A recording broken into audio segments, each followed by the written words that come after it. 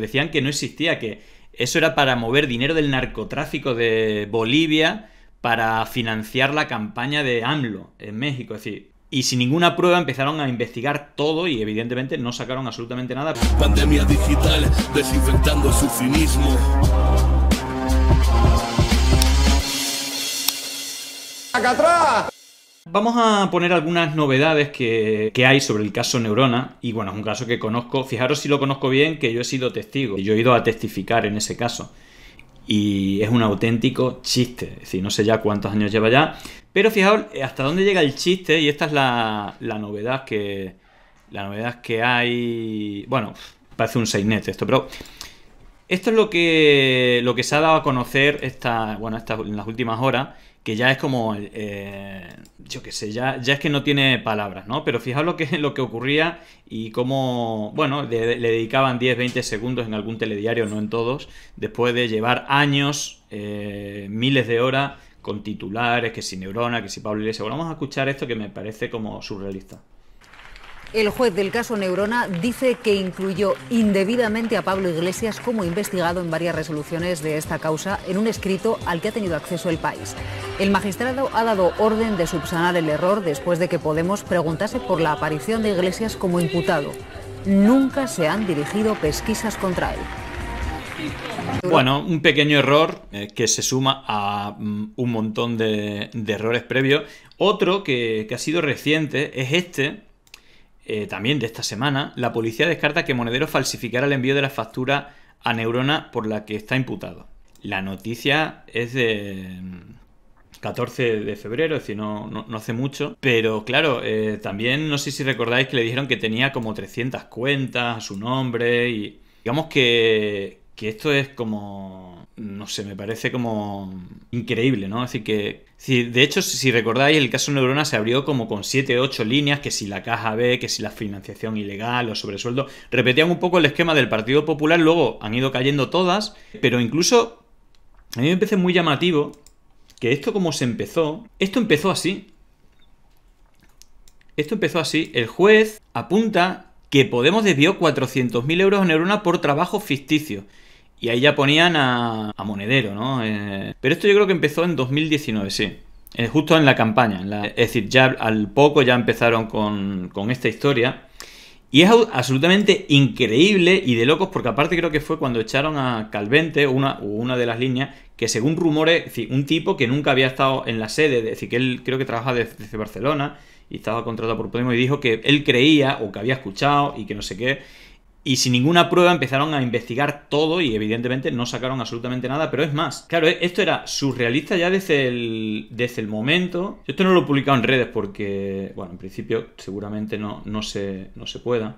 O bueno, no, que no se pueda, está la cosa judicializada, pero, pero esta imagen que veis ahí, eso es la sede de Podemos y estos son algunos de los trabajadores de Neurona, ¿vale?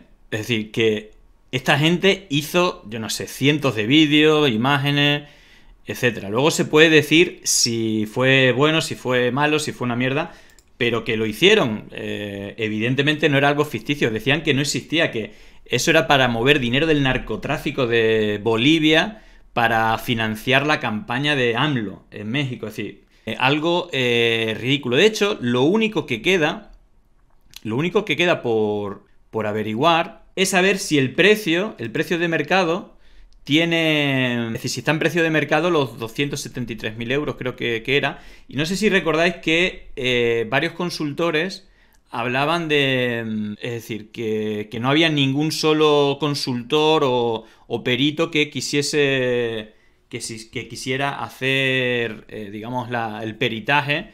Eh, y parece, y esto es la última, esto se conoció ayer, que este señor es el que va a hacer el peritaje del caso Neurona. Y claro, el titular del diario es el consultor implicado en la campaña sucia del PP de las últimas generales hará el informe clave del caso Neurona. Y estamos hablando de Aley San Martín, ¿vale? Que eh, asesoró a Juanma Moreno en la campaña del, PP, en la campaña sucia en realidad, pero que también ha trabajado para, para Pablo Casado. De hecho, la campaña de Pablo, o una de las campañas de Pablo Casado, a ver si recordáis esta campaña.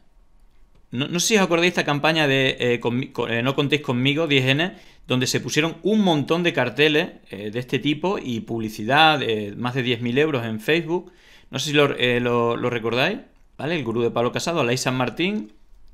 Y si, claro, es decir, para que os hagáis una idea, lo que ocurrió, ¿no? Y esto es de Carlos del Castillo ya en 2019 Varias calles de barrios de Madrid, Huelva, Murcia o Granada han aparecido este fin de semana empapelados con carteles que fomentan el enfado del votante de izquierda con el PSOE y Podemos. No contéis conmigo, yo no voto.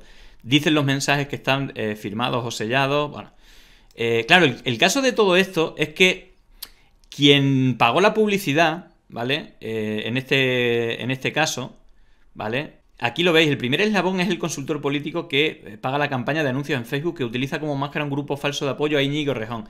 Se llama Josep Lanuza y trabaja para Aley San Martín, un asesor cordobés con experiencia en América Latina que diseñó la campaña que convirtió a Juan Manuel Moreno Bonilla en presidente de Andalucía, dice él mismo en su web.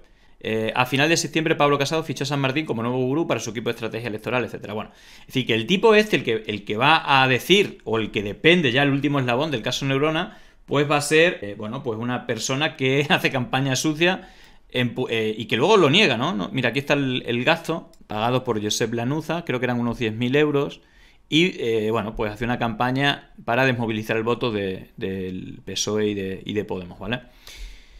Y bueno, y apoyo a, apoyo a, a La campaña No contéis conmigo se vale de dos vías para hacer llegar el mensaje a la abstención de los votantes del PSOE Unidas Podemos. Están los ya citados anuncios de Facebook, que son los que Lanuza asegura que ha, eh, que ha invertido varios miles de euros por iniciativa personal.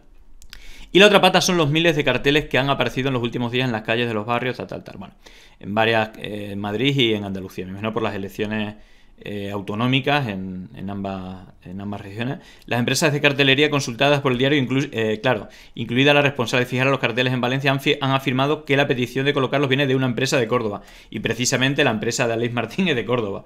Es decir, que socialistas por el cambio, es decir, que tenían como cuentas falsas. Bueno, no es la primera vez que Alessa Martín queda vinculado con campañas que recurren a la confusión y el engaño. Bueno, en fin, pues de hecho, fijaos, eh, una de las campañas que, de los vídeos que hizo. ¿Cómo votar al PSOE sin votar a Susana? Coge tu papeleta electoral del PSOE de tu provincia. Tacha el primer nombre de la lista. Mete la papeleta en el sobre y el domingo mete el voto en la urna para decir alto y claro con Susana, no.